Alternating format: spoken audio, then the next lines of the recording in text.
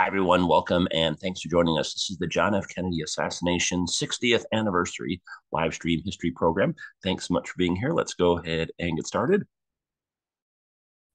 My name is Robert Kelleman. I'll be your host. I'm the founder and director of the Washington, D.C. History and Culture nonprofit community organization, which is kind of like our, say, flagship organization. And we also have an organization in Dallas, which is called Dallas, Texas History and Culture. A little bit about myself. I'm originally from Washington, I'm originally from Detroit, Michigan. I lived in Southern California and Washington, D.C. before moving to Dallas, Texas. And I've hosted a lot of tours, both in person and online, related to presidents and first ladies. And this particular one on the Kennedy assassination is the latest one if you're ever in Washington, D.C. or the Dallas Fort Worth area, I hope you can come by and see us as we have a lot of fun visiting these different historical sites. So last night, this morning, and this afternoon, I led three different uh, John F. Kennedy assassination themed in person tours in Dallas. Um, and we'll probably do that again um, next year. So that's the story with that. I also have my good friend from Portsmouth, New Hampshire, joining us, Patty. Hi, Patty. You want to say hello and introduce yourself? Yes, hi, can you hear me? I can. Okay, yeah, I'm not, I'm playing with a new device, so I'm not getting everything to work right. so bear with me, guys. um, how are you all? I before I forget, I just want to mention if people didn't um, find out about it, the History Channel is doing a three-part thing, not on the assassination, but more on his life and career from his birth to um, just before he um, won the presidency. So, uh, and okay. I think it's like running tonight, but they do like they keep they keep running them back to back to back, so people can tune into it after they get off here. Excellent. Well, thanks, Patty. Thanks for joining us. And we also have our good friend Brad joining us from West Virginia. Hi, Brad. You want to say hello and introduce yourself? Hello, Robert. Hi, Patty. Uh, hi, everybody.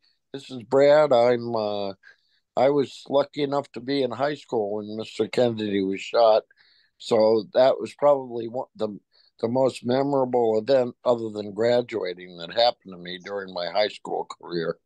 Oh, that's interesting. What what happened? How did you find out the news? I'm sure, assuming they made an announcement that let everyone go home.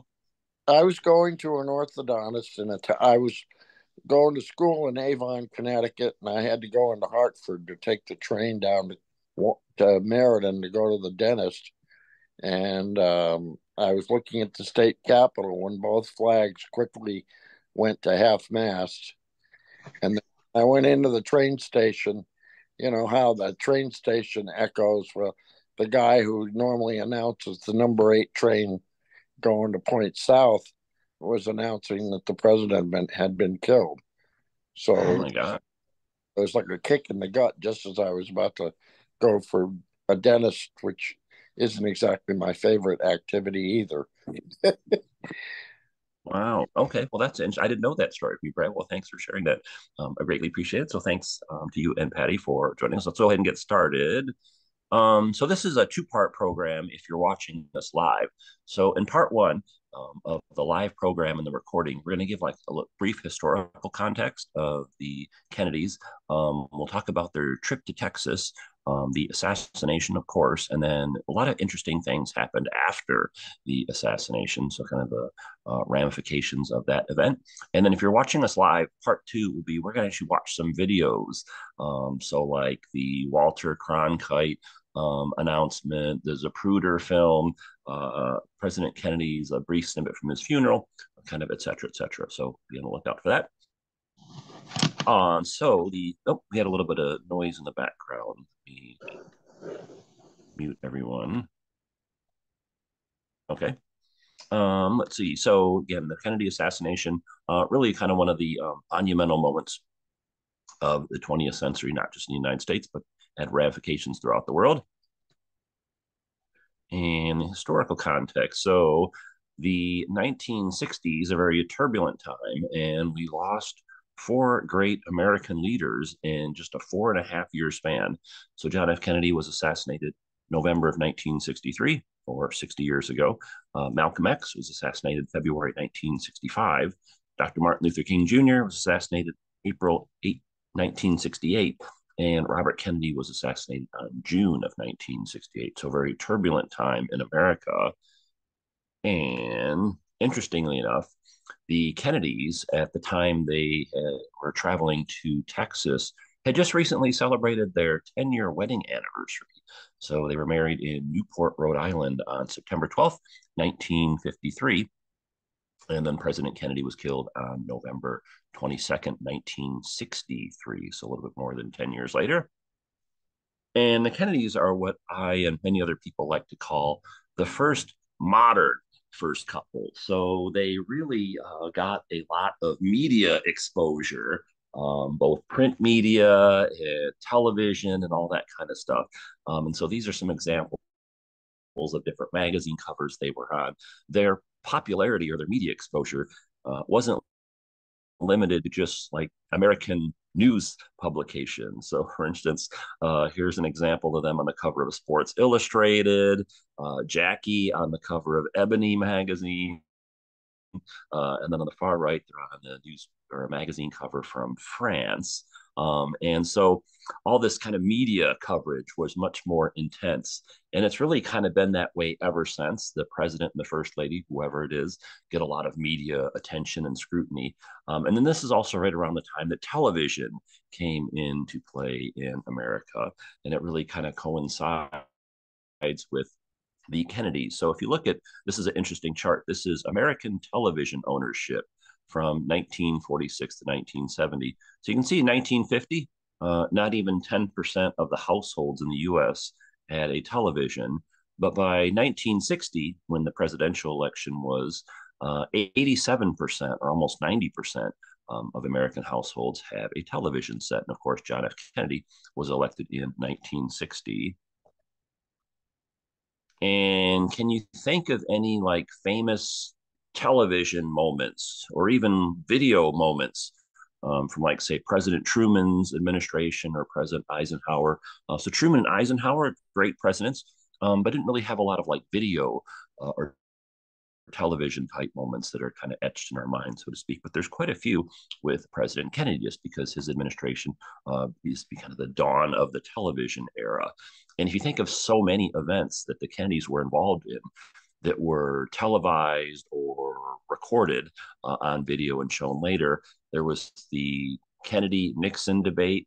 Uh, there was John F. Kennedy's famous inaugural address where he said, "Ask not what you can do, ask not what your country can do for you, ask what you can do for your country." There was Jackie's famous um, television tour of the White House. Uh, of course, President Kennedy's assassination was captured on the Zapruder film.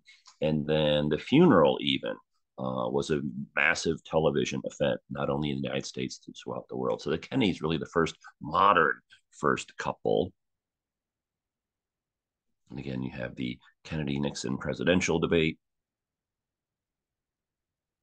the inauguration, Jackie's White House tour, and then even the assassination was recorded and then received a lot of extension television coverage.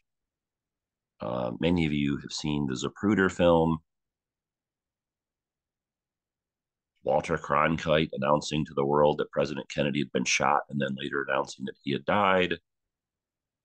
And then even the funeral. Um, so all these kind of video slash television moments with the Kennedys uh, really kind of makes them the first modern first couple, so to speak. Now, why were the Kennedys in Dallas in the first place? Uh, well, this is an interesting story, especially for someone like myself, currently living in Texas. Oh, you know, someone else pointed out, uh, Teresa made a good point. The Cuban Missile Crisis. Yeah, that was another big television moment, wasn't it, Teresa? So thanks uh, for pointing that out. But why were the Kennedys even in uh, Dallas or in Texas to begin with? So, just to FYI, um, C-SPAN does this really cool thing where every few years they rank all of the presidents to see which one is the best, which one's the worst, uh, and which ones are in the middle. And, and this top kind of 10, so to speak, has been pretty consistent throughout history. Um, so this is a whole set of historians that rank presidents on all these different criteria. They did it in 2000, 2009, 2017, 2021. You can see Abraham Lincoln consistently comes out as our best president. Um, and here's John F. Kennedy. Um, he's been very highly regarded by historians for a long, long time. Uh, he's currently ranked the eighth best president after these seven. However, uh, President Kennedy wasn't quite as popular uh, when he was alive. So, for instance, this is the 1960 presidential election, and Kennedy won this election by a very small margin of people. In fact, if you took away or the count the fact that uh, Kennedy won the states of Illinois and the state of Texas by a combined 55,000 people. And so if there were, say, 27,500 people fewer that voted for Nixon instead of Kennedy, Nixon would have won Illinois and Texas, and that would have swung the vote to him. Uh, and John F. Kennedy would have lost the 1960 presidential election. And then if you look at JFK's approval rating, he was, for the most part, pretty popular uh, during his time in office. I think Jackie had a little bit to do uh, with that to a certain degree, not entirely. But you can see by the time he was taking his trip to Texas, his popularity was at a low point, and there was a lot of concern that he would not win re-election because his popularity was really uh, diminishing at this point in time. Now it's kind of funny because in modern times, uh, there's been a lot of recent presidents that would love to have a 58% approval rating um, because we haven't been anywhere near that in the past several years, but that's a whole nother story. Um, and John F. Kennedy is running for reelection in 1964. So it hadn't been like officially announced and they hadn't kicked off the campaign. Uh, they started political or campaigns a lot later uh, than they do now. But November 1964 election is less than one year away. And Texas, of course, is a very important state. And so John F. Kennedy kind of is going to informally kick off the reelection campaign, or I guess as they would say in marketing, he was going to do a soft launch, so to speak. And then also his wife, Jackie, was really popular uh, in my opinion, Jacqueline Kennedy, is the most popular first lady in history, in American history. Um, and so, whenever she would travel with President Kennedy, it always really increased the media attention and the public interest um, in what was going on. She didn't always travel with President Kennedy, but she did frequently. And wherever, wherever either one of them went, they drew a crowd. And when the two of them were together, they really drew a big crowd. Um, and you can get a sense of that by just looking at the uh, magazine and television newspaper coverage of their travels, uh, just looking at pictures like this of people lining up to see them. Um, now, unfortunately, 15 weeks before President Kennedy was killed, their child died. So they had a son named Patrick, but he only lived for 39 hours when he died. And this is just 15 weeks prior uh, to President Kennedy's death. And at the time, this was a really big um, news story because the president and first lady uh, lost a child. They had two children, of course, that were already living at this point in time, but big, big news. Um, but this event really kind of gets overshadowed by the assassination that took place later on. Now, uh, Jacqueline had had a lot of health problems related to this miscarriage. And I'm sure that she was probably extremely uh, depressed by the fact that she had lost her son, Patrick. And so uh, she is really kind of a recluse for the weeks after um, Patrick's death. She was recovering both mentally and physically. So she really hadn't been seen much in the fall of 1963. Um, and then it's decided, you know what, um, she's kind of uh, back in good enough health, so to speak. She can travel. Um, and hey, it would be really great if she could accompany her husband on this trip to Texas because she's so popular.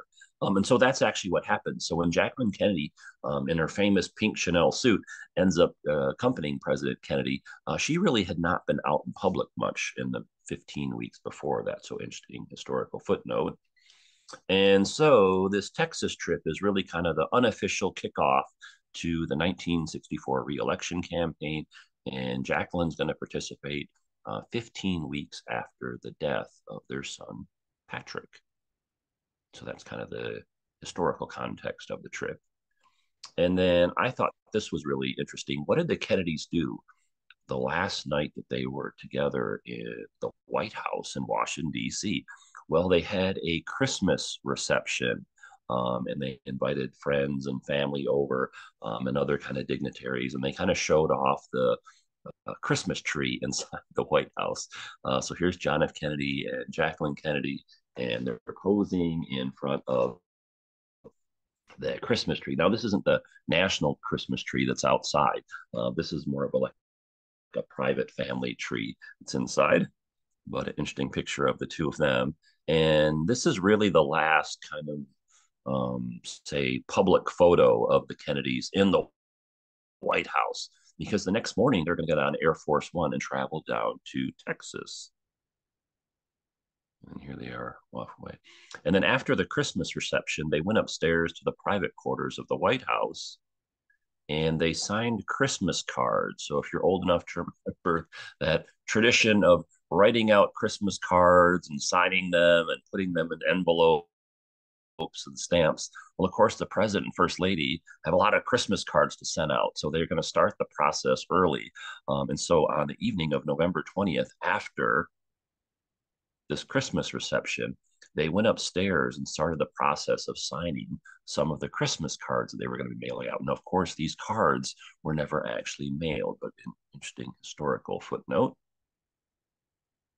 And let's talk about the Texas trip. So this is the itinerary. Uh, they weren't just in Dallas. They actually visited a few other places and they were going to go to a couple other places after Dallas. So they left Washington, D.C. Uh, Thursday morning. They flew to San Antonio. They were there for several hours. Then they went to Houston for several hours. Then late in the evening, they flew to Fort Worth, spent the night there, um, got up the next morning, went to Dallas. And then after Dallas, they were supposed to go to Austin um, and then to the Lyndon Johnson Ranch, which is west of Austin. But of course, they did not make it to those two locations because President Kennedy had been shot. And then, if you're not familiar with the geography of Texas, let me give you a quick lesson of the Lone Star State. So, they flew into San Antonio Thursday afternoon, stayed there for a while. Then they went to Houston. Then in the evening, they flew to Fort Worth. They were there through the following morning. Then they went to Dallas. Um, and of course, that's where the assassination took place. And then after Dallas, they were supposed to go to Austin and then the Lyndon Baines Johnson Ranch.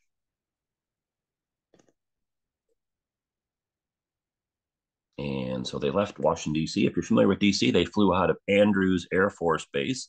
This is on Thursday morning. And there's Jackie and President Kennedy getting ready to board the plane.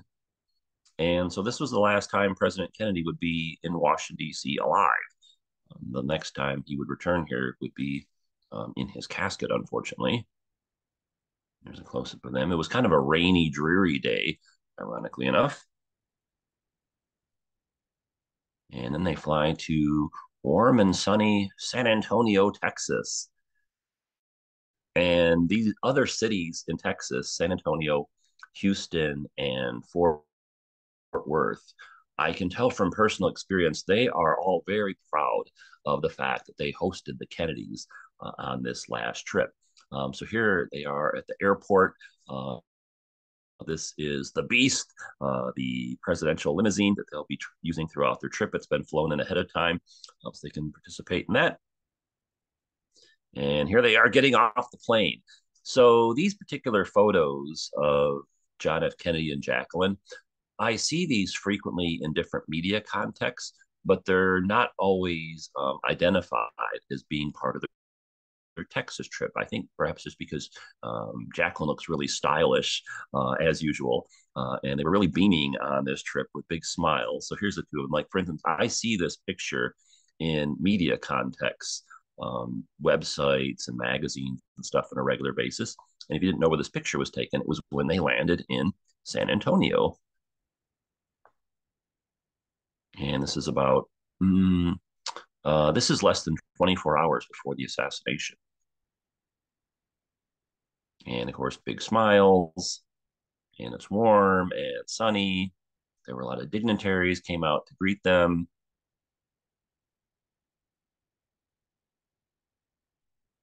And it's really just uh, fascinating to look at these photos of them, uh, knowing what tragedy is about to take place the following day.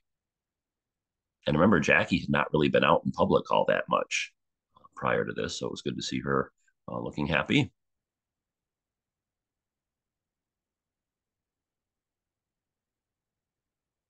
And they get greeted by a lot of dignitaries. President Kennedy looks very happy. There's a Boy Scout.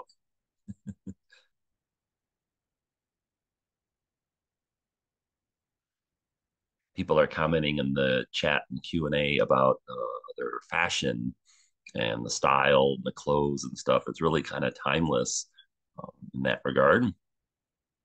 But yeah, look at the big smiles on their faces.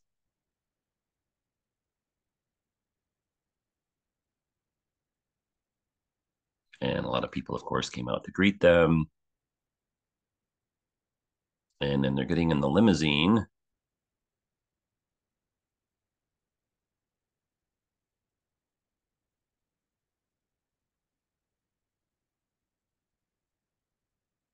Jackie was famous uh, for wearing gloves, like a lot of women did back in those days. You don't really see that too much anymore.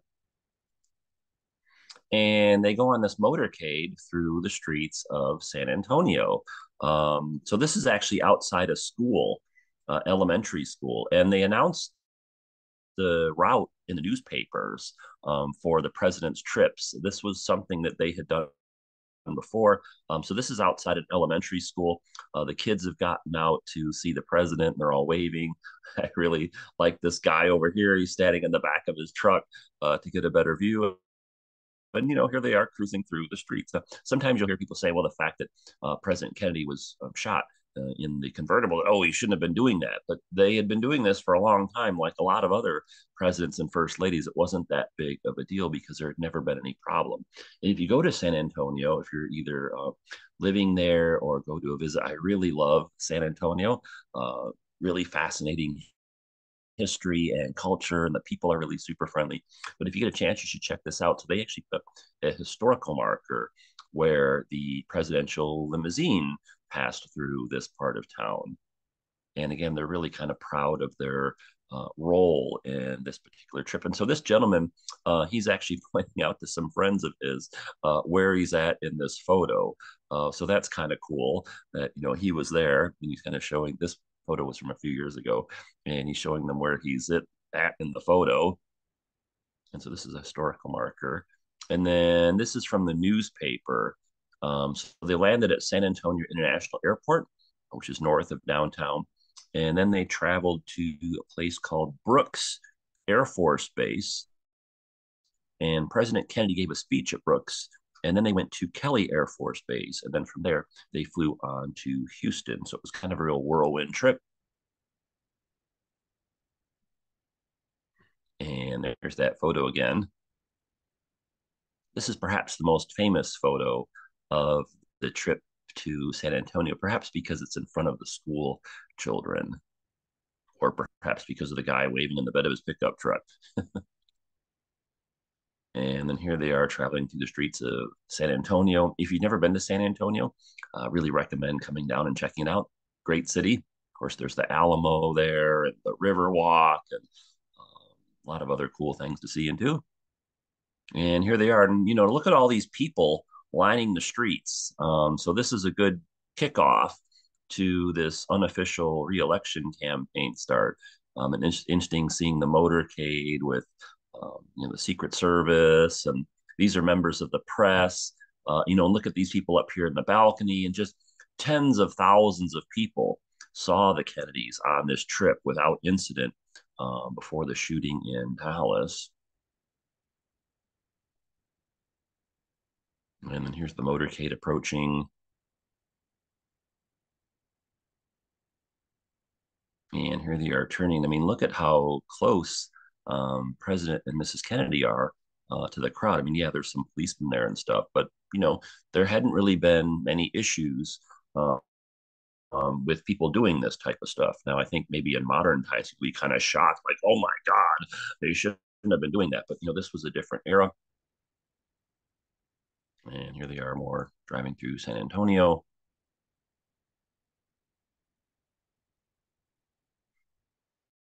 And then here they are at the Air Force Base where President Kennedy is going to be giving a speech. Um, and then you can see Lyndon Johnson here. Of course, Lyndon was from Texas as well.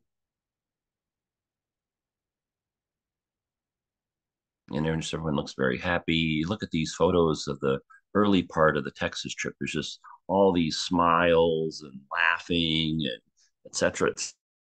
etc.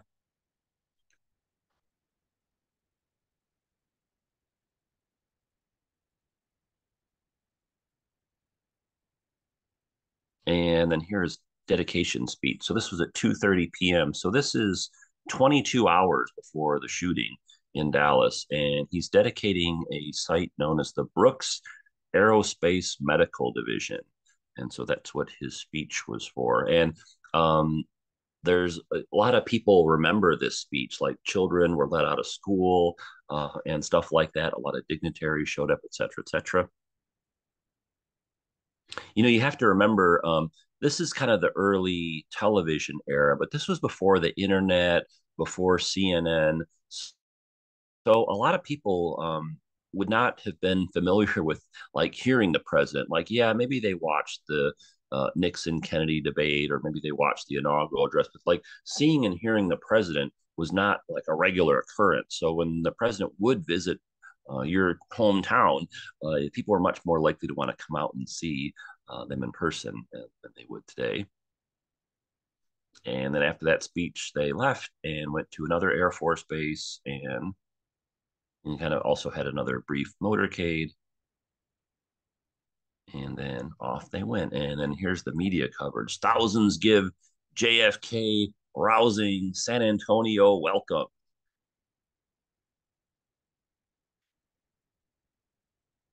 And then even in Dallas, they were covering the trip. So Plea for Spaceman kicks off JFK tour.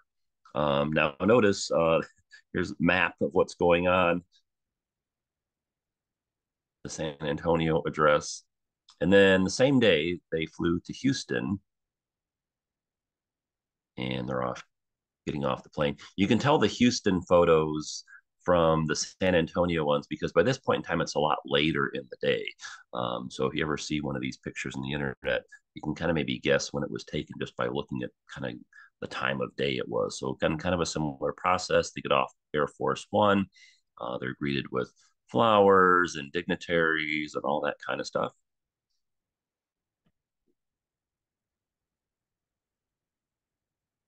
Oh, hold on just one second. I have to tweak something on my computer.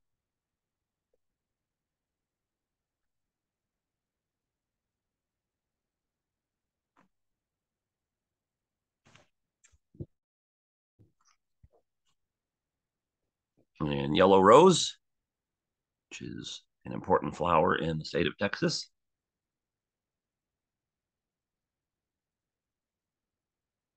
And again, it's warm and sunny, great weather for this particular trip. Texas, of course, is a lot warmer in November than Washington, D.C., where they were coming from. And again, big groups of people,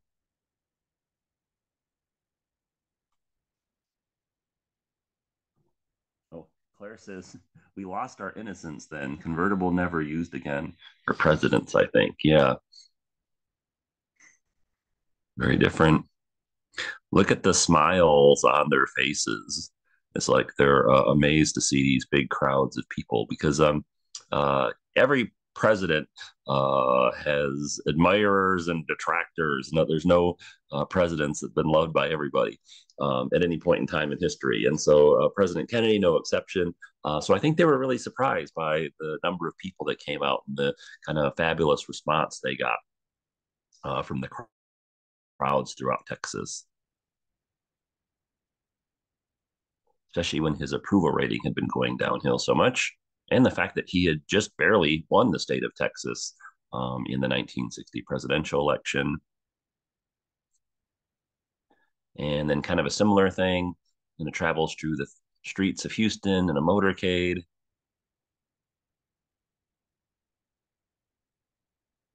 this is interesting. Um, a lot of people do this with historical sites. Uh, they'll take a historic photo and then they'll line it up with the kind of the current view. So this is the Kennedy motorcade traveling through downtown Houston, uh, what it looked like back then, and then overlaid on a photo of what it looks like in more recent times. Oops, I went the wrong way. Sorry. Um, then kind of a similar thing. And again, just look at all these people uh, lining up. So, um, hey, if there was a presidential motorcade today, uh, regardless of your political um, uh, interest, would you go out and see the president and first lady if they were traveling through in the motorcade? Maybe not so much just because of the internet and 24 hour news cycle and all that stuff, but a really big deal for people uh, back at this point in time. And then Jackie actually gave a President Kennedy gave a speech in Houston, but Jackie also gave a speech, and her speech was in Spanish because some people don't know this. Jacqueline Kennedy was fluent not only in English but also in Spanish, Italian, and French. Um, and so, if you're watching the live program, I'll actually show a snippet of the speech a little bit later. And look out for that.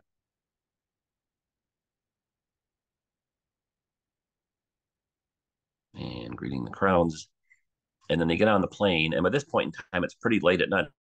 I mean, it's been a long day. Uh, they left Washington, D.C. in the morning. They flew all the way down to San Antonio. They were there for a few hours. And they flew to Houston. They're there a few hours. And then now they're flying to Fort Worth. So a really, really long day for the Kennedys. And then they arrive in Fort Worth, Texas. Fort Worth, if you're not familiar with the geography of Texas, it's not far from Dallas. That's why they call it the Dallas Fort Worth metro area. And they're going to be staying at a place called the Hotel Texas. Uh, the Hotel Texas is no longer in existence, but this building is still there. It's the Fort Worth Hilton in downtown Fort Worth, if you know where that is. And here it is in more recent times. And so this is the hotel that used to be the Hotel Texas. It's now the Fort Worth Hilton. And right outside the entrance is this memorial to President Kennedy. And I'll explain more about that in just a moment.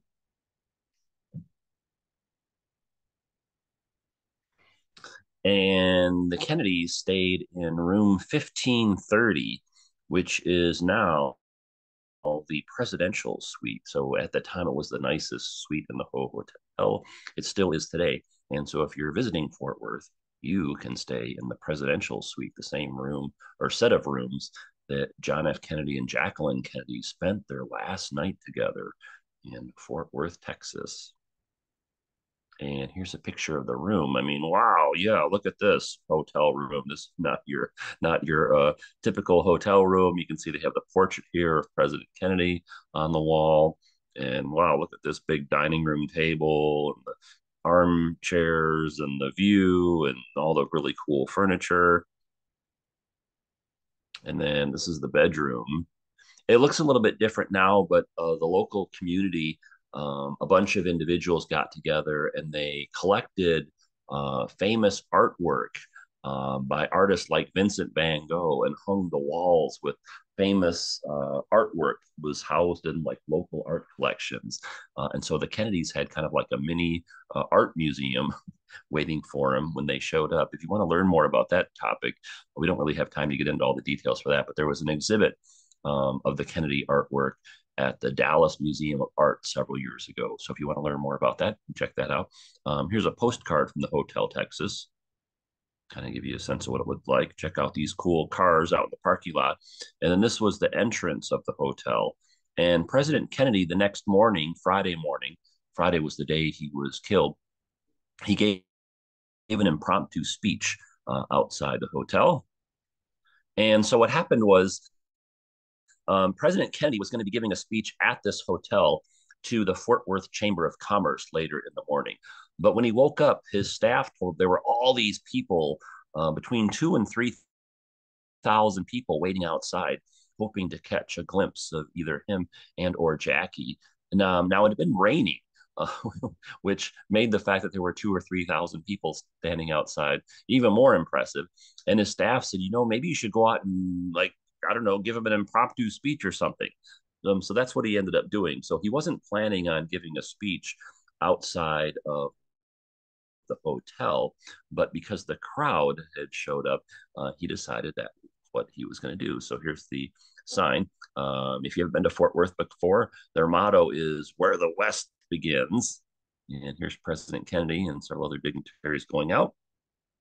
And again, big crowd of people. And this must have been a big uh, relief for him to see all these uh, happy people and the number of people coming out to see him.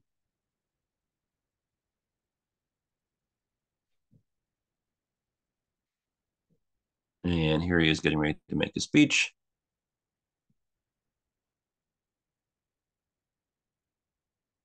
And here he is delivering his remarks. That's Governor, Texas Governor Connally and Vice President Lyndon Johnson standing in the background. He kind of talked about the strength of America during the speech. And look at all these people.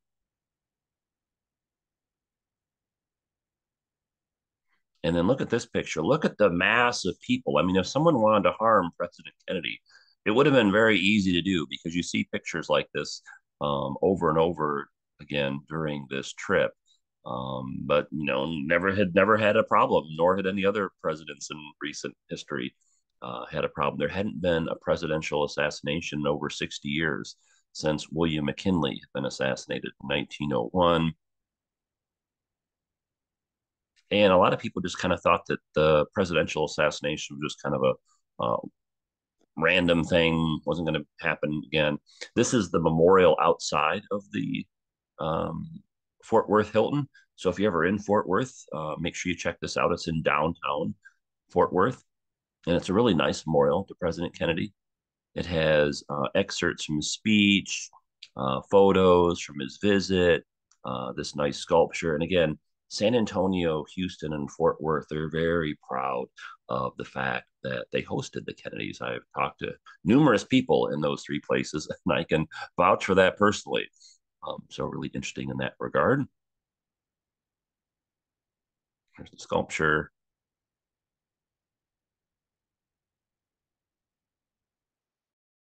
And then here's a historical marker. On the evening of Thursday, November 21st, 1963, President and Mrs. John F. Kennedy arrived in Fort Worth to spend the night at the Hotel Texas, their last night together.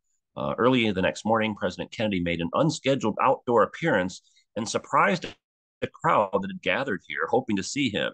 At breakfast in the hotel, he spoke to 3,000 people, emphasizing Fort Worth's role in defense and aircraft production. He accepted with good humor the city's traditional welcome gift of a locally made Shady Oaks Western hat, also known as a cowboy hat. Uh, the president trip around Texas, though billed as non-political, was surely brought about by infighting among Texas Democrats. Following breakfast on November 22, 1963, the president and his entourage left the Hotel Texas in a motorcade to Carswell Air Force Base for a short flight to Dallas. On the drive to a luncheon speech in Dallas, President Kennedy was assassinated, bringing shock and grief to Texas, the nation, and the world. And here is President Kennedy speaking at the Fort Worth Chamber of Commerce. So this is inside the Hotel Texas. Um, you can see Jackie here. He's delivering his remarks. Here is an excerpt from his speech. President Kennedy, one, known as uh, one of our best speakers, if not the best speaker of all our presidents, and he said on this particular occasion, I am confident as I look to the future that our chances for security, our chances for peace are better than they have been in the past. And the reason is because we are stronger. And with that strength is a determination to not only maintain the peace, but also the vital interests of the United States. To that great cause, Texas and the United States are committed. Thank you. And that was the last speech President Kennedy ever gave. There's Jackie and Lyndon Johnson.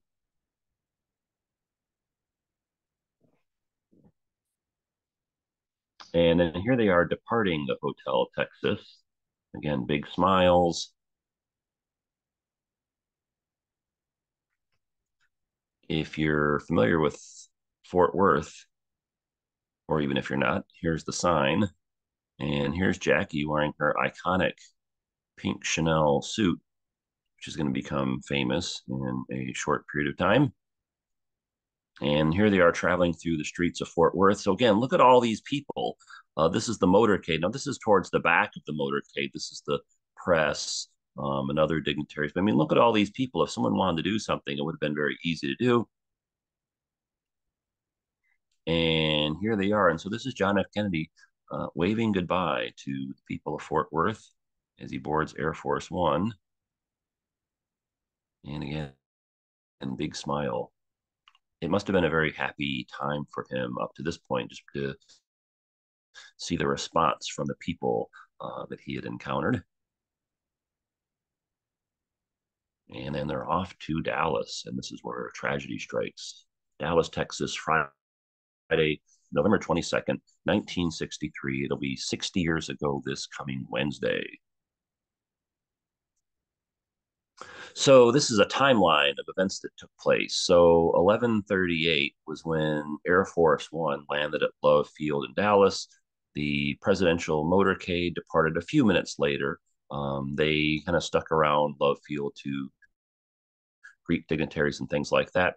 And then President Kennedy was shot at 12:30 p.m. So uh, less than an hour after Air Force One landed. And of course, there was a large group of people there to greet them. People applauding and cheering. And this uh, particular article is talking about the storm of political controversy swirls around Kennedy visit. And then we'll look at this later. This is actually the map of the motorcade route through Dallas. That might be kind of shocking to people in modern times, but that was a thing back then. They hadn't had any problems. And so, if you're wondering why all these people were lining the streets, uh, it's because the presidential motorcade route was heavily publicized, so people knew uh, where they was going to be. I mean, that was part of the point to go out and see people.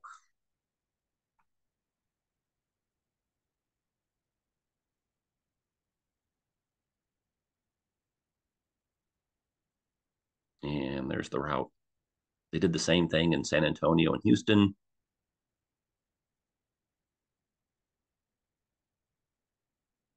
And of course, not everyone was a fan of President Kennedy's. All presidents uh, have people that like and don't like them. That's just the way it goes in that office. And so there were quite a few protesters that showed up as well.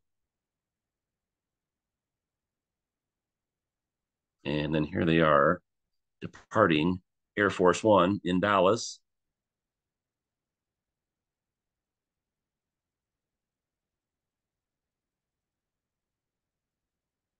And then here they are with the crowd greeting them. And a big deal was made about the fact that um, Mrs. Kennedy was giving yellow flowers, but there were so many events going on related to the Kennedys, there was a shortage of yellow roses. Um, and so she ended up receiving these red roses, which ended up being ironic.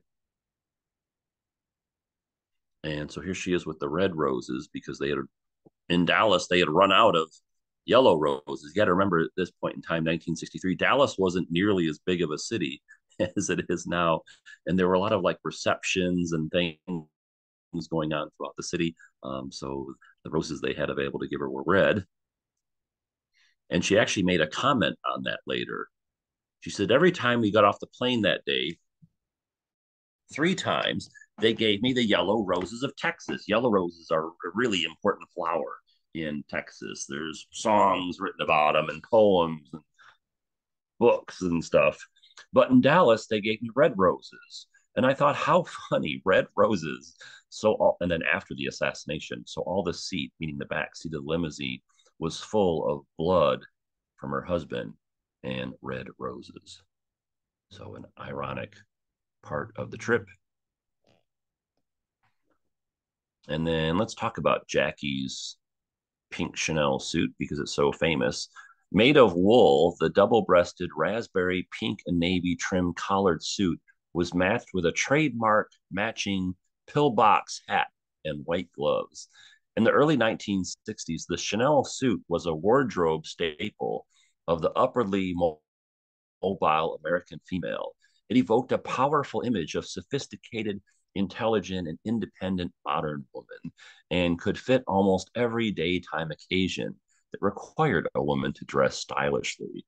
Given that the Chanel suit was a strong statement of an independent woman, it is balanced by the color pink, which has an element of traditional femininity. Most of the American public viewing pictures of the presidential couple on television and in newspapers would not have known the color of the suit, given that at that time, TV news and newspapers were in black and white. The color of the suit did not become widely known until the publication of color photos in Life magazine's JFK Memorial issue, November 29th, 1963, or seven days after the assassination. So imagine that. Uh, people didn't really know about the pink Chanel suit for seven days. Eventually, the suit, which was never cleaned, was given to the National Archives in Washington, D.C.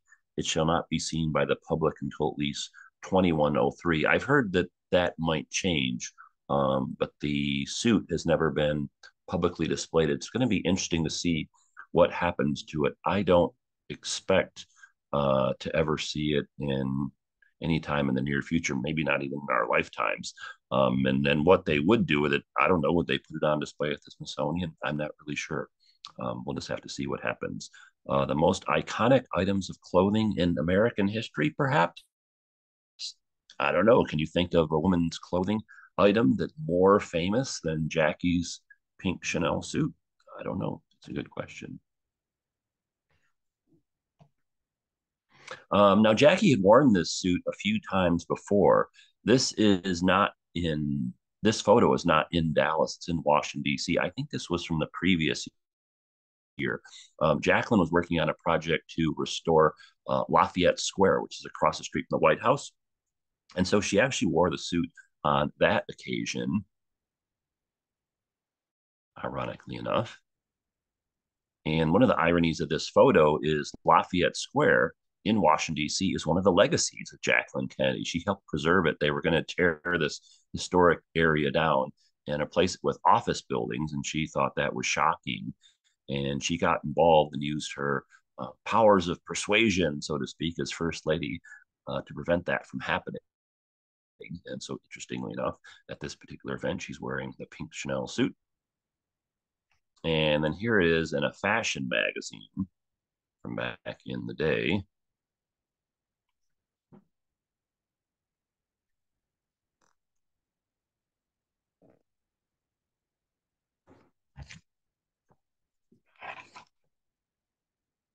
Hold on for one second. Okay,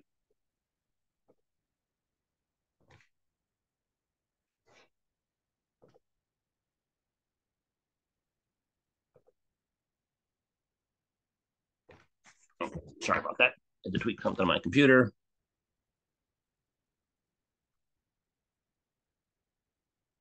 And then again, arriving at the airport at Love Field.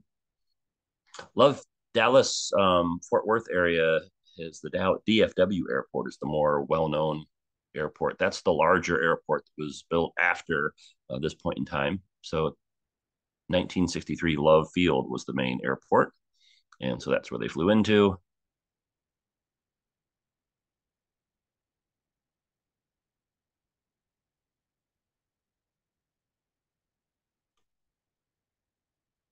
And again, look at the big smiles.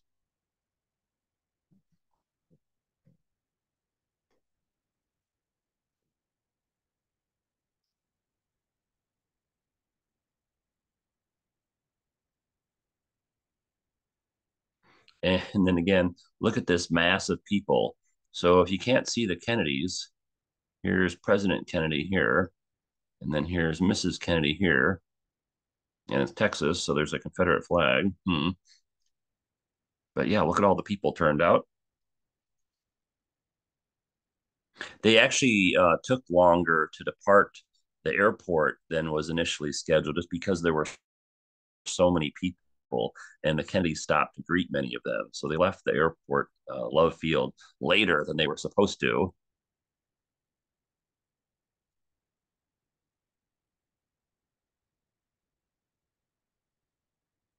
And this is where President Kennedy was intending to go. So he's going to travel in a motorcade through Dallas, and then he's going to give her a speech at the Dallas Trade Mart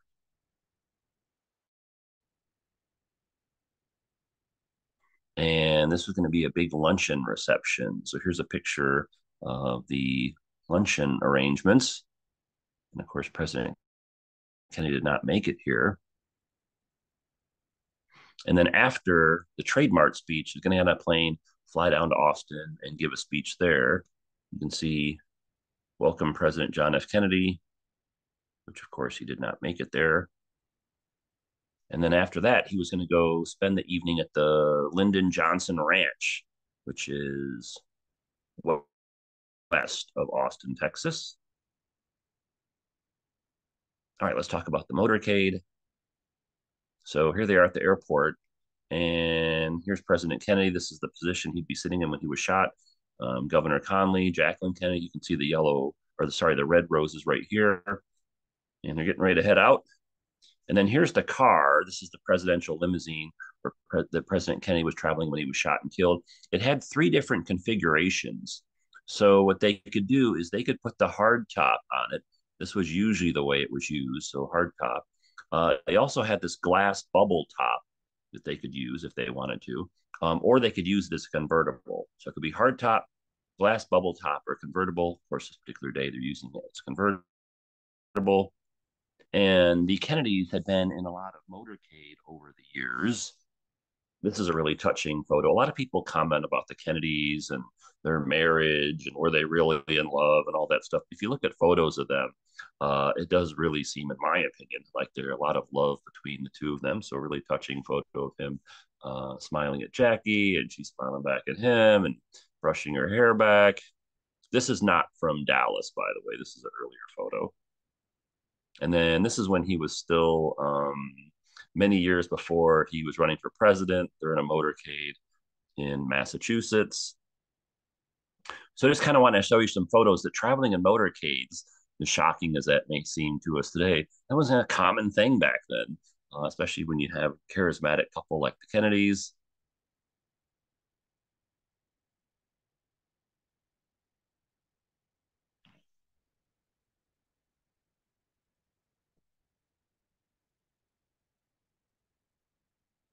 Here's a parade.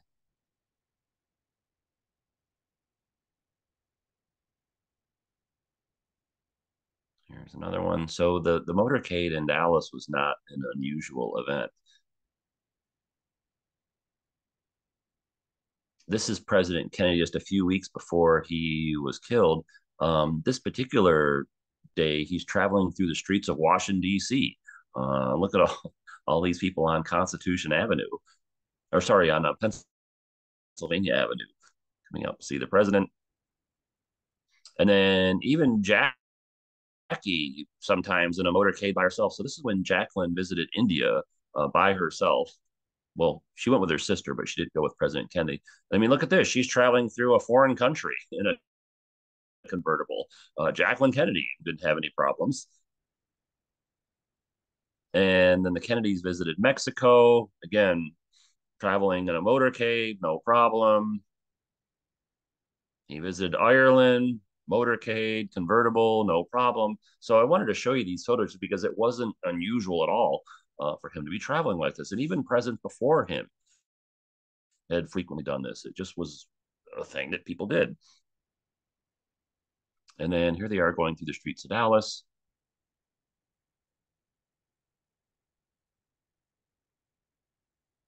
And also through the streets of Dallas. If you're in Dallas, I believe this is the motorcade traveling down Main Street, if I'm not mistaken. This is a view uh, White House photographer took from the press car that was traveling behind the president's car. President Kennedy's up here. And this is probably the most famous, or one of the most famous photos um, of that day. Uh, before the assassination took place. And again, just look at all the people and everyone smiling, uh, President Kennedy, Jackie, and this is just literally moments before he was shot.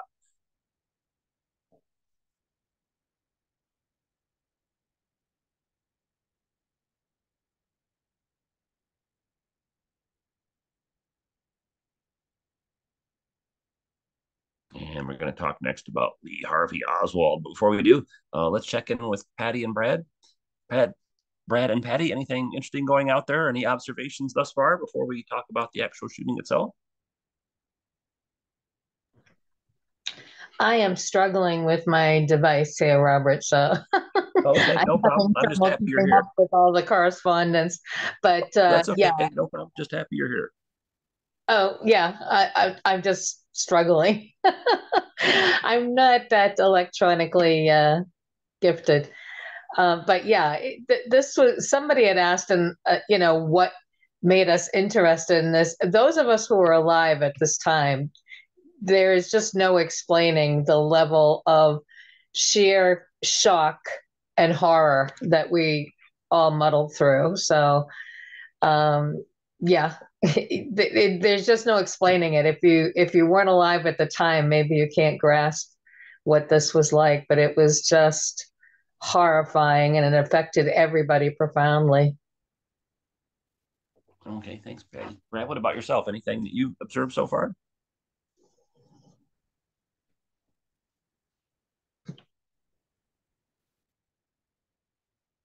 All right, well, let's continue on. Oops, hold on one second. Nope. Hold on, my screen share got interrupted. Bear with me for a moment. All right, let's talk about Lee Harvey Oswald. He was the guy who shot President Kennedy. And if you haven't been to Dallas, this is where the shooting took place. So this is the Texas School Book Depository. This building was owned by the Dallas School District, and they used to house textbooks in here. Lee Harvey Oswald actually worked here. It was on the motorcade route, and it's a seven story building. Oswald fired three shots from the sixth floor window right here. And you can visit this site today. It's a museum now. There's a marker right here announcing the fact that this is the site. Um, the motorcade came down this way towards the building and then made a left.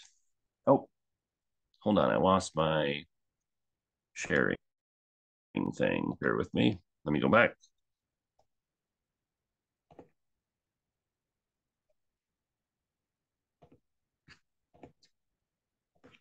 Okay, sorry about that.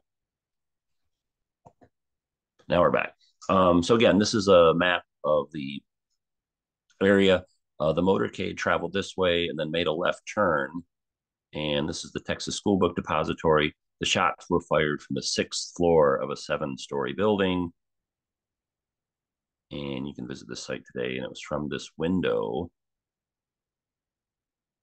So the floor, the sixth floor, where the shots were fired was a essentially a storage area. And so Oswald positioned boxes um, so that no one could see what he was doing. And then he armed himself with a rifle that he had brought to work, disguised as curtain rods. And when the motorcade traveled through, he opened fire and killed President Kennedy. And the motorcade traveled the route of these blue arrows. It was traveling towards the building, made a left turn.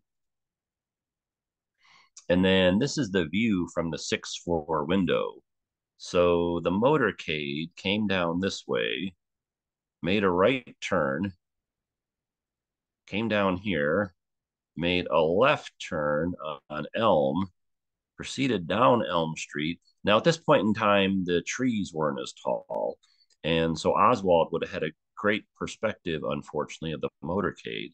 And then when the Kennedy motorcade got to here, that's when the shots opened fired.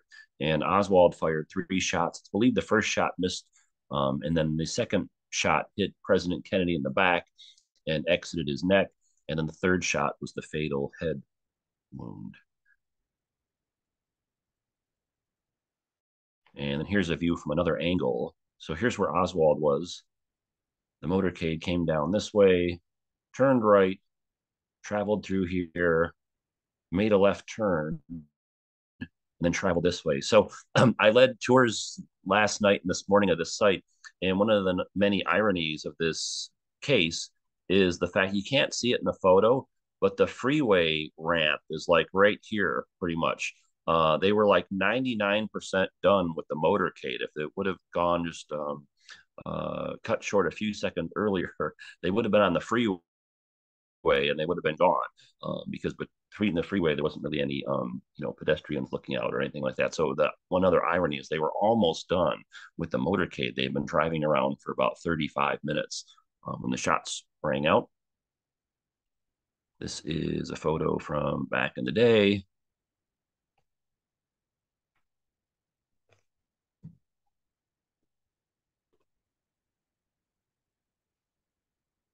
And then here's that famous photo again, moments before the assassination.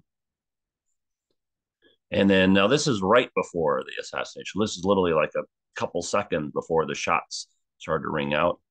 Here is Clint Hill.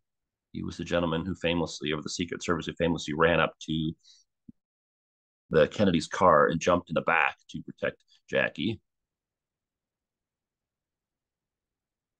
And this is right before the shooting took place. Again, see all these happy people.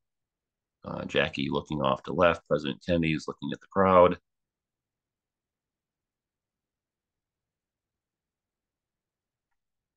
Here is where Clint Hill was standing. And here comes the motorcade. And then one of the reasons why the assassination is so well known is because of the Zapruder film. So Abraham Zapruder owned a clothing company uh, across the street from the building where Oswald shot President Kennedy. Uh, Zapruder was a big fan of President Kennedy's, and he was a video buff. Uh, not a lot of people had video cameras back then, but he did. Uh, and I actually bought one of these model video cameras and I was showing it to people on the tour um, in downtown today. So that was really cool uh, to be able to see that. But anyway, he gets out of his office and wants to go check things out. The Zapruder film is a silent eight millimeter color motion picture sequence shot by Abraham Zapruder with a Bell and Howell home movie camera as the United States President John F. Kennedy's motorcade passed through Dealey Plaza in Dallas, Texas on November 22, 1963. Unexpectedly, it ended up capturing the president's assassination. Even though it is not the only film of the shooting, the Zapruder film is considered to be the most complete one, giving a relatively clear view from a somewhat elevated position on the side from which the president's fatal head wound is visible. It was an important part of the Warren Commission hearings and all subsequent investigations of the assassination, and is one of the most studied pieces of film in history. And here's an advertisement for this camera. It was the Bell and Howell Model 414. And there it is. Um, so I have one of these cameras. I went and bought one just because I was curious what it was like. It's amazing. The viewfinder is really small uh, compared to like looking through a modern phone that we would take videos with or pictures with. And so again, the motorcade came down Houston Street, turned left onto Elm Street. Here's where Oswald is. And Zapruder was perfectly positioned to capture the events that took place. And remember, the Kennedys, the first modern first couple, all these video slash television moments during their lives in the White House. And here is the Zapruder clip. I'll actually show, if you're watching this program live, I'll actually show the Zapruder film a little bit later. If you're watching a recording of this program, um, you can find it on YouTube, various other sites. And again, this television moment, you've probably seen this film before, or at least stills of the film. At this point in time, President Kennedy has been shot once uh, in the back, and the uh, bullet exited his throat, um, but it's before he received the fatal head wound. And you can see Governor Connally uh, leaning back to see what the heck is going on.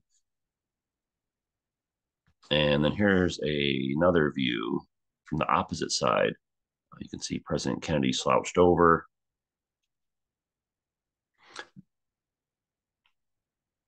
This is the area known as the grassy knoll, if you've heard of that before. And then here's Clint Hill springing into action. So he actually jumped off the car behind uh, the presidents. He was standing on the sideboard and raced on foot up to the car and somehow miraculously caught it. Uh, it's amazing that he was able to do that because had he slipped, well, it's just amazing that he was able to run fast enough uh, in black dress shoes to be able to even catch up to the president's car. Um, but had he fallen here, he would have fallen behind the limo and been run over by the car behind him. So he really risked his life uh, just to do that. And not only that, this is an active shooting scene. Um, so he could have very easily been shot himself. So he risked his life uh, really in two different ways, uh, taking this action. And then here he is in the back of the car. And you know, must also remember at this point in time, the drivers of the car realize uh, they're being shot at. And so they speed up the car. So he really had to hold on for dear life uh, to avoid falling off. And then, of course, there's pandemonium taking place after the shooting. Wondering what the heck is going on.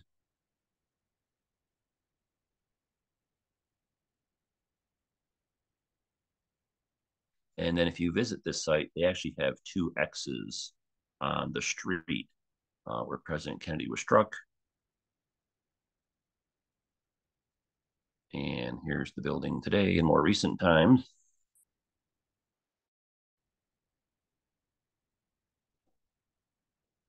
And this site is called the Sixth Floor Museum at Dealey Plaza.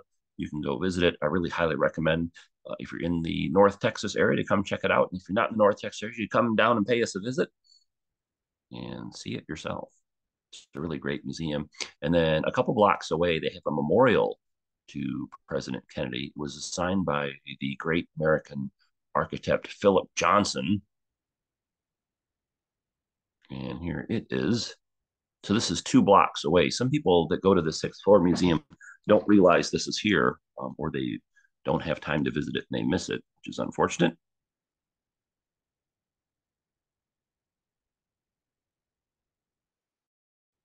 And then if you're wondering what happened to the car that President Kennedy was traveling in, it was actually continued to be used as a presidential limousine for many, many years into the 1970s. Um, but it's now on display at the Henry Ford Museum in Dearborn, Michigan, which is my hometown. Dearborn is a suburb of Detroit. So if you get a chance, make sure you go visit the Kennedy car at the Henry Ford Museum in my hometown of Dearborn, Michigan.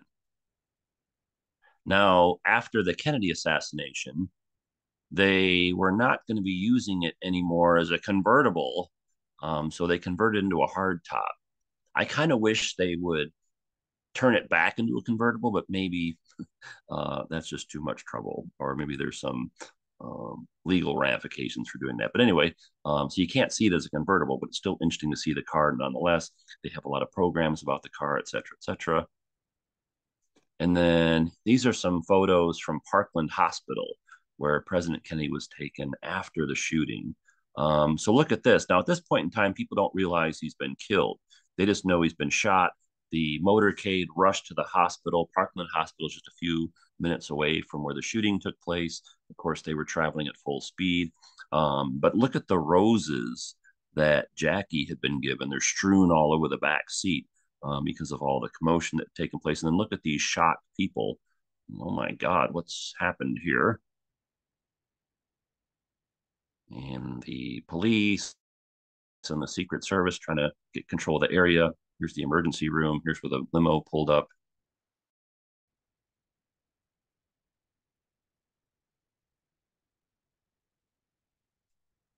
And so people know what's going on. They know the president's been brought here. He was sh- shot, um, and they're waiting to find out what's happened or any more details.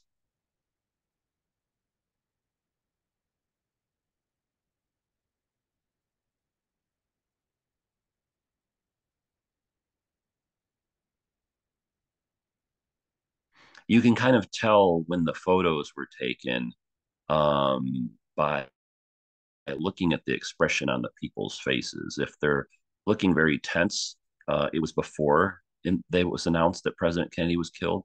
Um, if they're crying and things like that, it was after the announcement.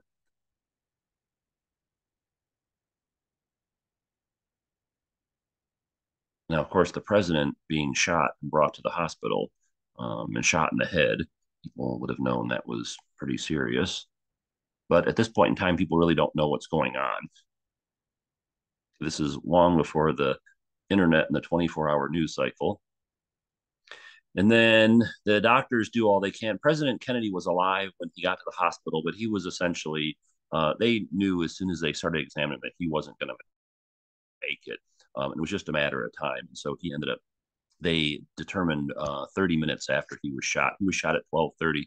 They made the determination uh, he wasn't going to make it shortly thereafter. Uh, and at one o'clock, he was pronounced dead. Um, and then a short time later, they announced it to the public. And so here's the doctors. They're explaining what the situation is with the death of President Kennedy. And this part of the story is really um, depicted really nicely in the film Parkland, which will be screening on Monday night. So if you get a chance, come check that out with us. Parkland, of course, the hospital where President Kennedy was taken to, where he was pronounced dead. And so then here's our timeline. So the limousine arrived at Parkland five or six minutes after the shooting took place. Walter Cronkite, a few minutes later, announced the president had been shot although at this point in time he hadn't announced he was died. Uh, and then at 1 p.m., Parkland Hospital determined that President Kennedy um, had died and began announcing that within the four walls of the hospital, but they hadn't publicly announced it quite yet at that point in time. And so, okay, now you can really kind of tell, like, okay, um, he's died, just be kind of looking at the expressions of the people uh, in the photos.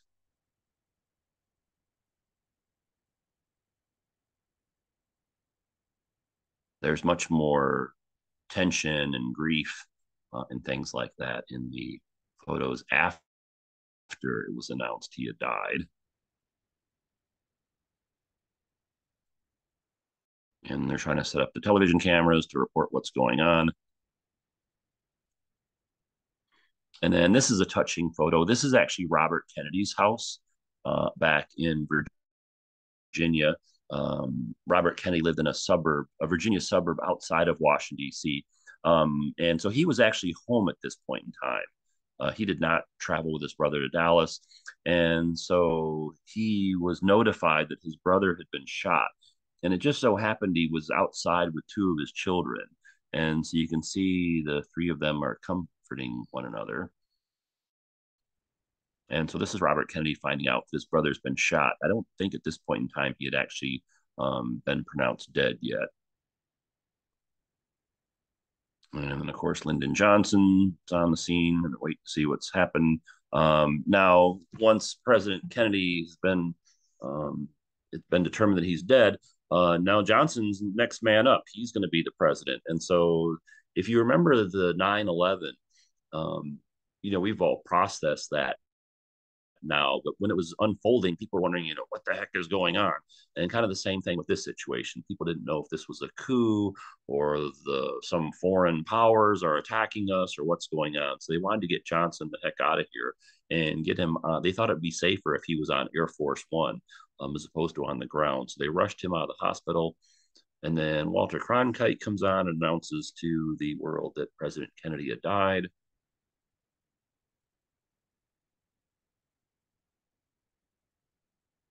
And then remember this photo from when President and Mrs. Kennedy are getting off Air Force One. There's another set of photos showing the opposite. So this was the arrival of the Kennedys in Dallas. and then these are the departure photos. So this is Air Force One. They just happen to be using an Eastern Airlines ramp. Um, this is President Kennedy in his casket. And you can see Jackie standing over here. And they're loading the casket on Air Force One. They didn't really have a good place to put it because they usually don't carry caskets on Air Force One. And then look at this incredible photo. This is Jackie getting on the airplane, uh, Air Force One, all by herself. And these photos are really haunting to me. And remember, Jackie just 15 weeks earlier had lost her son Patrick. And now you fast forward to November 22nd, and now she's lost her husband. And so you contrast these photos, the big smiles, and they're arriving in Dallas. This photo was taken at 11:44 a.m. And a little over two and a half hours later, um, she's departing in the same plane, although her husband is dead in a casket. Um, so just really incredible um, photo, her set of photos, I should say.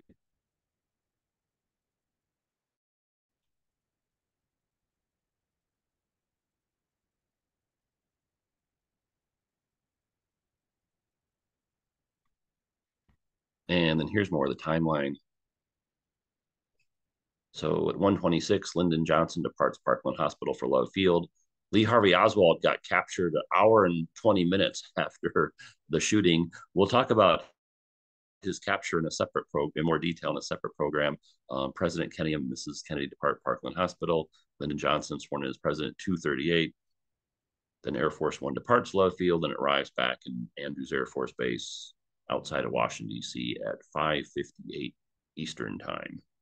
So everything unraveled very quickly. This is probably the most famous photo of the Kennedy assassination, even though it doesn't actually show President Kennedy. This is in Air Force One, and Lyndon Johnson is being sworn in as President of the United States.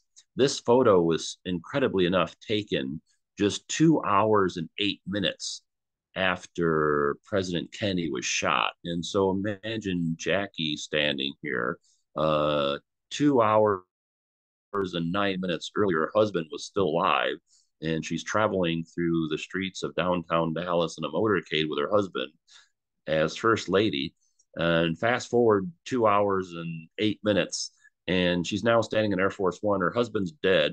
His blood is all over her suit, and the vice president's being sworn in as president.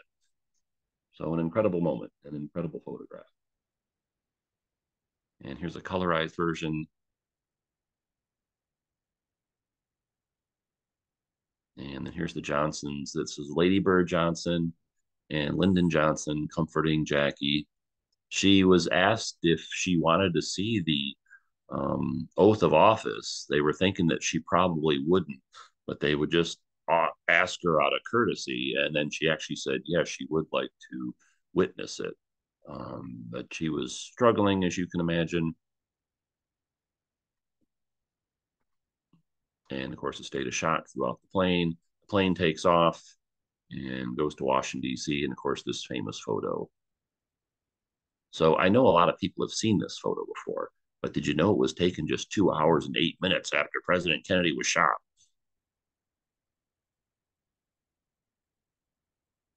And then Johnson now has to immediately start focusing on what he's going to do because he's now the president, and they also don't know what's going on out the rest of the world. Uh, they didn't know if this was a one person act or part of a larger conspiracy or some hostile foreign government attacking us. I mean, who really knew at this point in time?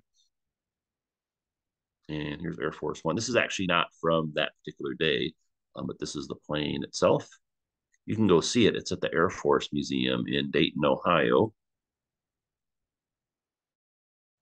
The National Museum of the United States Air Force.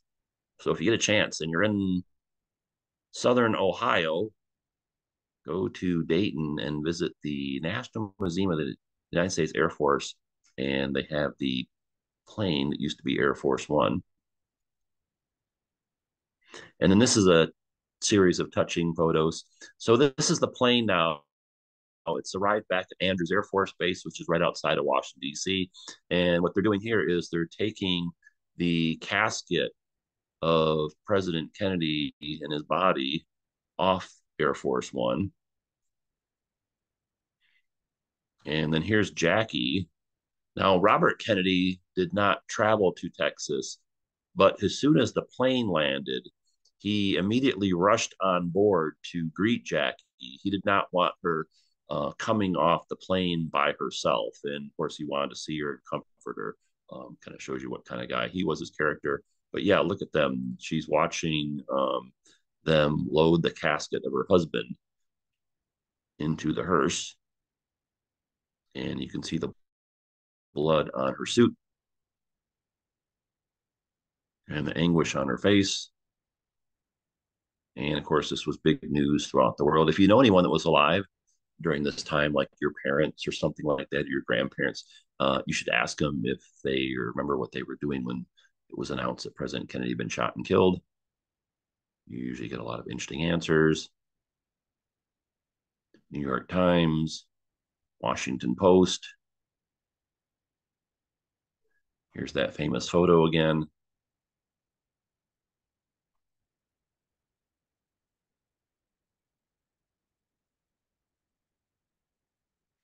I met a gentleman several years ago who actually used to work for President Kennedy. And he told me that this portrait of President Kennedy by the great American artist Norman Rockwell was the image that he thought best represented the way President Kennedy looked. Uh, so I thought I'd share this with you. So this was actually done when President Kennedy, uh, right before the election of 1960, and then they reused the picture for this memorial issue the Saturday Evening Post did in mid December 1963. All right, let's talk about the aftermath. So, what happened after President Kennedy died? There's quite a few interesting things that took place. So, Lee Harvey Oswald, the shooter of President Kennedy, this is his mugshots from when he was arrested. He was only 24 years old. Um, his face has some injuries because 15 cops showed up at the Texas Theater to arrest him. Uh, he got in a scuffle with him, and 15 usually beats one, and it did in this case. And so his face got a little damaged, so to speak. Um, I have a separate program I'll do about kind of how Oswald was captured and what he was doing and all that kind of stuff. But that's like a whole separate program. So we'll do that at a later date. And before Oswald was captured, he shot and killed Dallas police officer J.D. Tippit. Uh, um, so All Points Bulletin came out about a suspect uh, describing Oswald. Uh, now they're still putting the pieces together at this point in time, but Tippit's driving down the road and he sees a guy fitting the description of the All Points Bulletin to be on the lookout for. And so he pulls his police car over and questions the man um, from the passenger window. So the uh, police car uh, driving down the road pulls over. Uh, he rolls down the window. He starts questioning Oswald. And then something must have caught his attention because Tippit got out of his car, police car, and he proceeded around the front of the car. And then at which point in time, Oswald put out pulled out a Saturday night special revolver and shot him three times. And Tippit fell to the ground. Then Oswald, thinking that perhaps Tippit was going to come around the front of the car and shoot him, Oswald ran around the back of the car and then shot Tippit one more time. Um, and you can actually see this is Tippit's blood um, here in the street. This is a crowd of people that have gathered uh, to see what the heck is going on. And this is Dallas police officer J.D. Tippit. He was 39 years old. He was a World War II veteran, received the Bronze Star as an airborne trooper, and he was 11 year veteran of the police force. And not sure all the details of what happened because he was killed. Um, and then, of course, Oswald was captured and killed himself a little bit later. And so Tippit's kind of like the unknown victim, uh, or sometimes maybe like the forgotten victim of the Kennedy assassination, but it's really his death that leads to Oswald's capture because two different people saw this take place. Um, one of them ran inside her house and called the police. The other guy actually ran up to the police car and got on Tippit's radio and notified the dispatcher that there was an officer down. And this generated this flurry of police activity in this neighborhood. And so then they're out on the really out on the prowl looking for Oswald. Um, when Tippit died, he left a young wife as a widow and three children behind. This is Mrs. Tippit and her three children. She has since passed away, as has her, her oldest son, I believe. I think the two youngest children are still alive. They are mostly anonymous, as you can imagine. They don't like the limelight uh, in my opinion. I don't really hear much about them. But anyway, Um, when Tippit died, he left behind a wife and three young children. And then so Oswald starts uh, taking off down the street. A number of people see him, think he's acting kind of suspicious. Uh, there's all these police out looking for him. He ducks into the Texas Theater, which is a famous Art Deco theater in Dallas. Uh, a number of people see him acting really suspicious and see him sneaking to the theater. Uh, they call the police. Uh, the police are already looking for uh, the guy who shot the police officer, and 15 uh, officers storm the Texas theater, uh, find Oswald, arrest him. He puts up a fight. They're able to subdue him. The Texas theater is actually still in use today. So if you want, you can go watch a movie there um, where they have other special events. Um, this officer, this is a recreation, uh, or this photo was taken after the arrest, but this officer is showing uh, the seat that Oswald was sitting in in the movie theater is kind of sitting in the center of the back. And he was watching a film called War is Hell. It's a trivia question.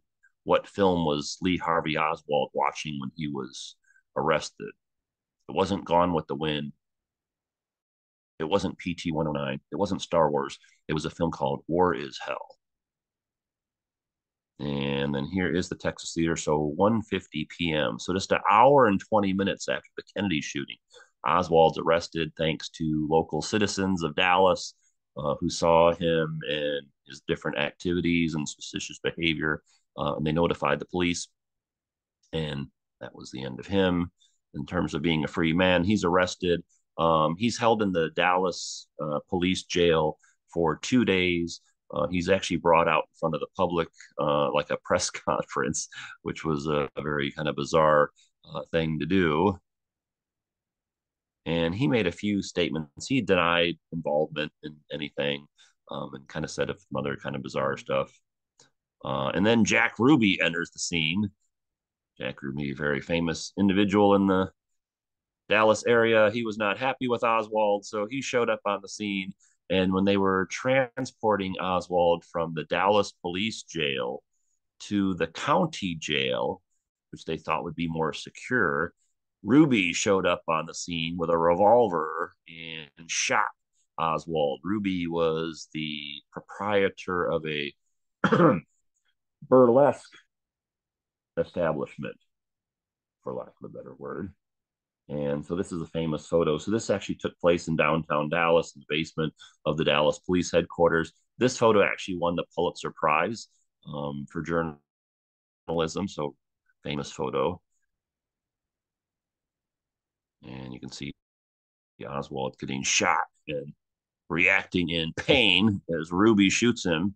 So Ruby decides that he would like to save money and time on trials and take care of things by himself, which he does.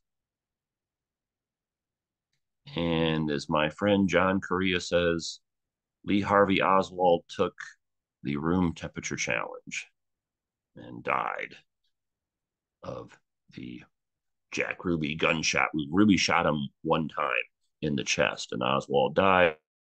And this was just two days after the Kennedy shooting. Um, so that's the last chapter of his story. Uh, of course, this was big news throughout the world. Assassin Oswald slain in Dallas. Here's Ruby's photo down here. And here's the photo with the gun right there. And then they have President Kennedy's funeral. This is actually in the United States Capitol in Washington, D.C.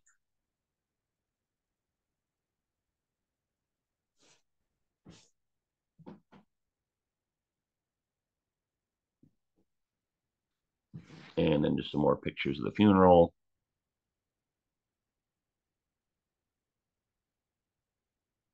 Jackie and her daughter saying goodbye to John F. Kennedy and paying their respects. Here's Jackie leading her. If you've seen, this is a famous photo. I frequently see this in different media contexts. Um, this is Jackie leading her kids outside of the Capitol. You can see Robert Kennedy there with her.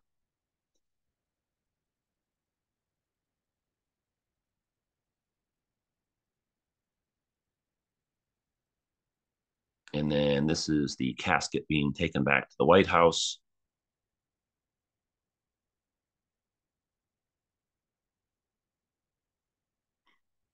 And then here it is on its way to the church. So there was a um, ceremony at the White House with President Kennedy's body and casket. And then the casket left and it's on its way to the church. And again, I'll do another program on the like the funeral stuff at a later date.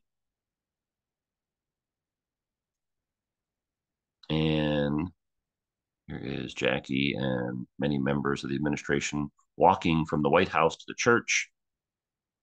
Here's another famous photo. Frequently see this one in different media contexts. This is Robert Kennedy, Jacqueline Kennedy, and Ted Kennedy. And then this is right before the famous photo where John Jr. gives the salute. So they had a ceremony at the church, and then they're outside and they're watching the casket depart.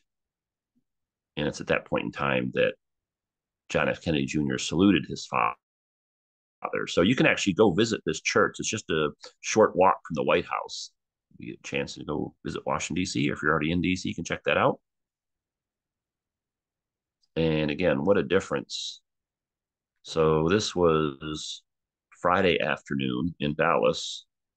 And then this photo is Monday afternoon in Washington, D.C.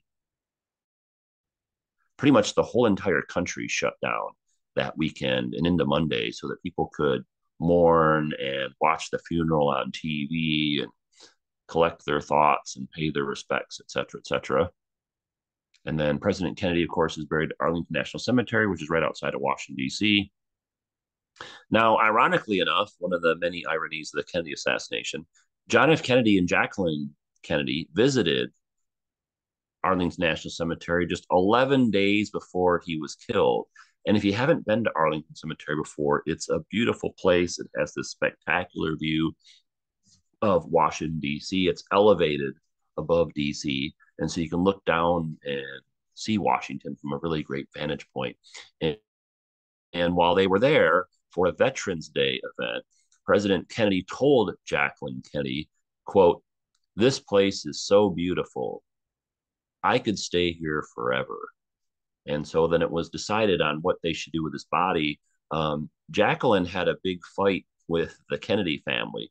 They wanted him brought back to Massachusetts and to be buried there. She really um, put her foot down and said, no, he should be buried in Arlington Cemetery because it's in Washington, D.C., and because he thought this place was so beautiful. And being the spouse, she was able to win uh, that fight, but there was a lot of opposition uh, from the Kennedy family and her doing that.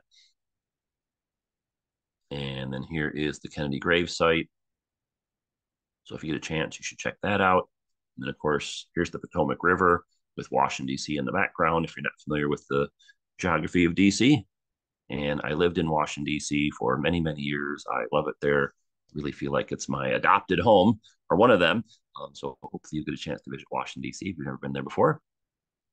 And then here's some photos from the funeral. There's Robert Kennedy.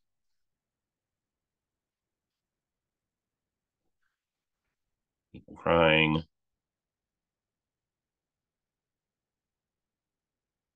The flag and the casket. And then initially he was buried in a temporary grave site. And then later on, this site was developed into the memorial that's there now. So of course it took a while to build memorials there now. So initially he was kind of in like a say a temporary grave site. And it's one of the most popular tourist attractions in Washington, D.C. And we have to thank Jacqueline Kennedy for her decision to have President Kennedy, her husband, buried at Arlington. Nothing against the people in Boston, of course, um, but it is nice to see him at Arlington Cemetery. And it really, Arlington Cemetery before President Kennedy was buried there was a pretty well known site. There were a lot of famous people there buried there. But once President Kennedy was buried there, it immediately became a major tourist attraction. Uh, it kind of went from being like, say, like a local regional um, tourist attraction, being like an international one. Like people come from all over the world to visit Arlington National Cemetery, not just to see President Kennedy's and Jacqueline Kennedy's graves. Um, a lot of other well-known, important people there, and, and a lot of great Americans are buried there. Uh, but this really kind of raised the stature of it. So we have to kind of thank um, Jacqueline Kennedy for that. Here's the Kennedy graves. So over here is so this is President and Mrs. Kennedy, their two graves. This is an eternal flame. Um, this is their son Patrick. He was reinterred here, and then uh, Jacqueline Kennedy had a daughter that was stillborn um, several years before the assassination. A daughter they were going to name Arabella, and she was reinterred here later. So if you're wondering um, what the situation is there, that's how that's set up. And there you go. John Fitzgerald Kennedy was born 1917, passed away in 1963.